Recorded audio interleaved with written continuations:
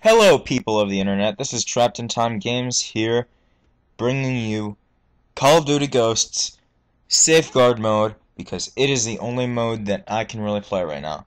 What you are seeing is Safeguard, which is pretty much Ghosts uh, survival mode. So it's a little bit different, but it's pretty much the same thing. The reason I'm playing Safeguard, there well, there are two reasons. First reason is that there's a trophy in it make it to round 20, and you get a trophy. I want that trophy. So here I am doing this, playing with randoms, pretty bad randoms at that. But, uh, so first reason is I'm going for the trophy. Second reason, number two, is that I have a broken hand. So, um, I find myself unable to aim very well. And so, this gameplay is in Safeguard, mostly because multiplayer opponents just move too fast, they kill too quickly, along with uh, the horde of uh, of aliens in extinction mode. They're just too ginormously fast, so I have to stick to this game mode for now, at least, until maybe later on in my casting pro process I will uh, cut down the cast to make me more agile and uh, mobile. But, uh, so this gameplay, excuse me if it's terrible, but, um, it's just, uh, me running around, hardly being able to aim. I had to switch my, uh, layout from, uh, tactical to default, because, uh, also I can't really hold down the, uh, right stick very well either. So, uh, I find myself pressing circle to knife and then crouching and then crouching when I mean to knife occasionally. So, yeah. But, uh, despite the fact that I am a handicapped player, I find myself able to sort of guide the team onto victory. So that works out well for me. However, that is also a bad sign for me because that lowers my chance of uh, us going to round 20 and actually beating safeguard mode because it ends at round 20. So, yeah. Two teammates going down on the first round. Bad sign, but I shall find a way to prevail. Maybe. So, right now, I only have a pistol.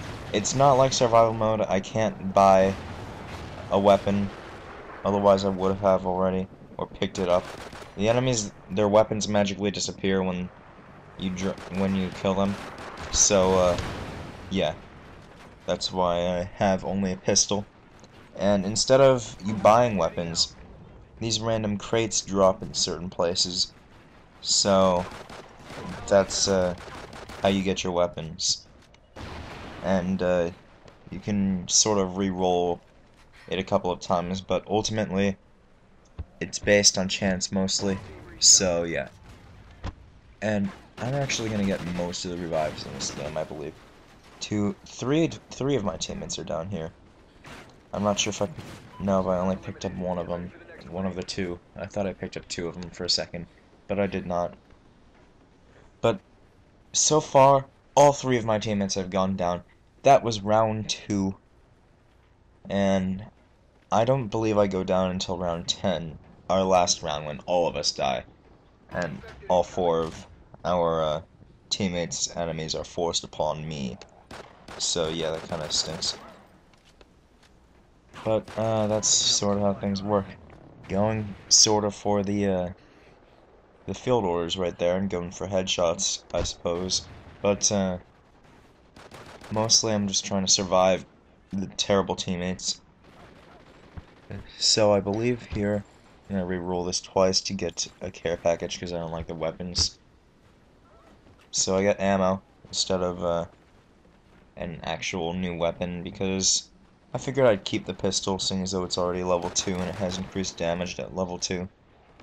So, yeah. I just figured I'd keep the pistol. I mean, we're already pretty close. Epic slide over there, and one thing I do like about this that I've noticed so far is that when you pick somebody up, you get ballistic vests. At least you personally. Which gives you a great excuse to just run into the enemy field. And so long as uh, everything's, you know, so long as there's not 30 enemies on you, you can pick them up in time and then you'll have ballistic vests to make your escape at least. If not, you'll keep that ballistic vest for the rest of the game, or until you lose it at least.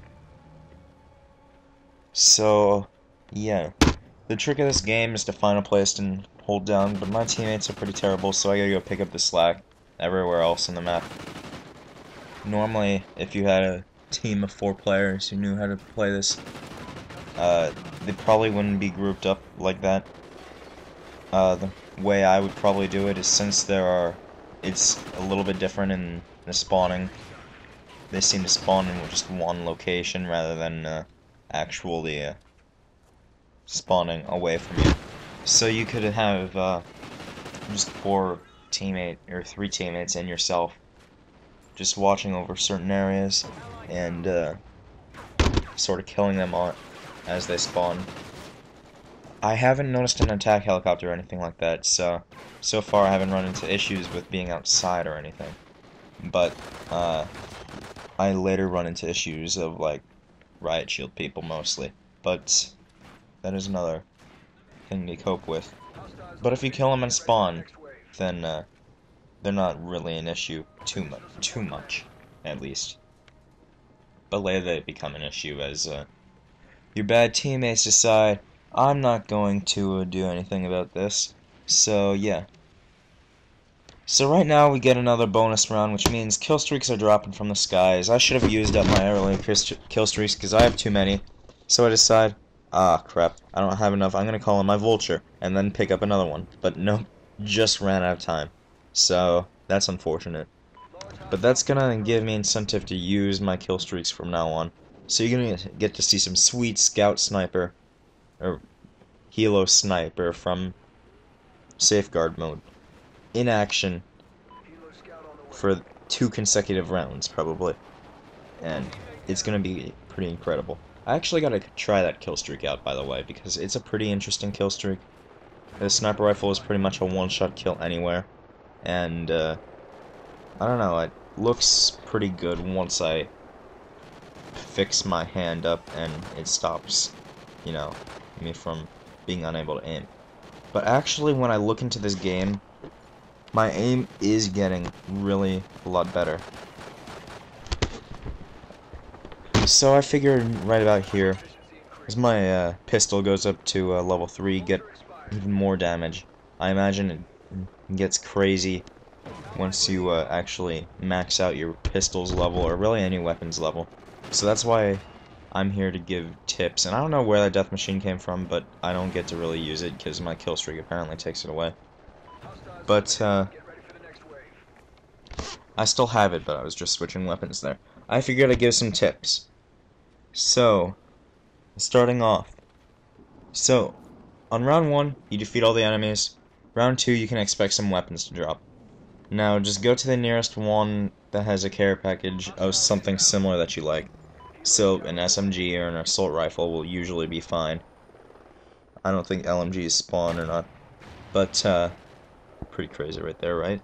But, uh, so yeah, you're gonna want to go to the closest one and just pick that up, or re-roll it once, because you can't re you can't re-roll it twice, otherwise you get ammo. So re-roll it once, if you need to, get a weapon that you like, and then stick with that weapon for the rest of the game. The reason I say that is because that way you can level up that weapon a lot. I mean, just think about it. Which is going to be more uh, useful? Is it going to be useful to have two assault rifles level 3? Or is it going to be more useful to have a pistol level 4 and an assault rifle level 3? I mean, it's not too big of a difference there, but once you get into Safeguard Extended mode, where there's 40, uh, 40 uh, waves, it's going to start adding up. You know, you get to 10 that much quicker, those next couple rounds are going to be a lot easier.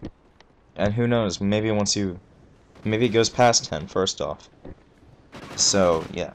That's why I advise sticking with one weapon at most times. Unless you get something like, oh yeah, here's the, uh, I don't know, here's the, um, Bulldog silenced.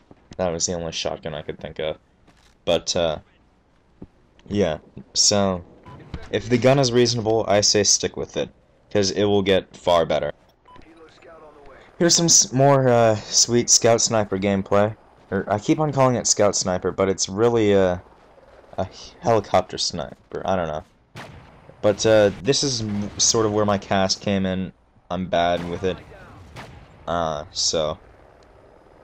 Yeah, my aim is less than impeccable.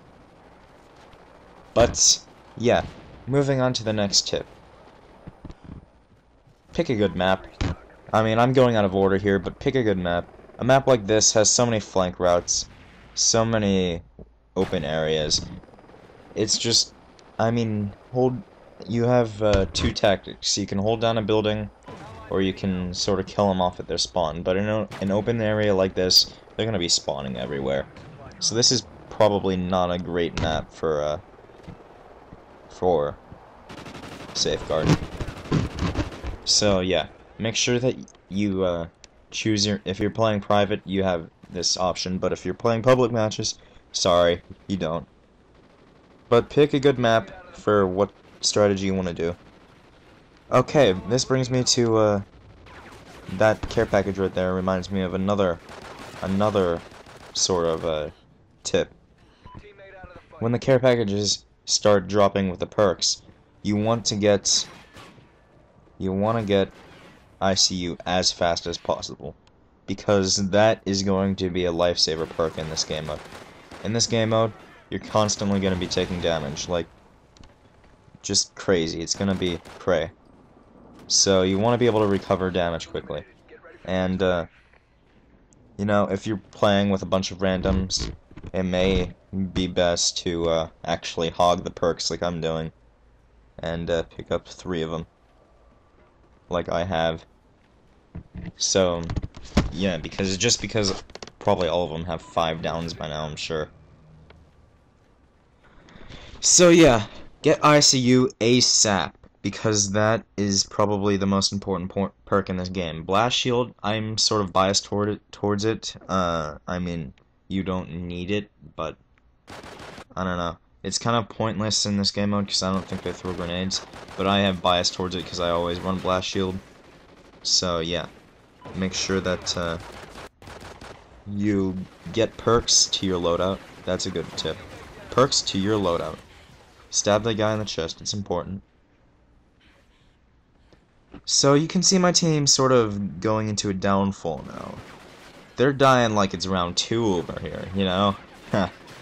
but, uh, I'm starting to get overwhelmed by all these people shooting me, so I'm gonna actually run away.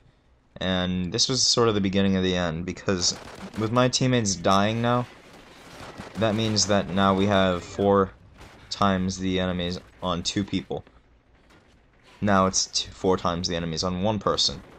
And I'm not sure if I try and pick him up, but it's uh, it's definitely a greater challenge when you don't when you have you know 20 people over five people. And so that's why I call him my squad mate.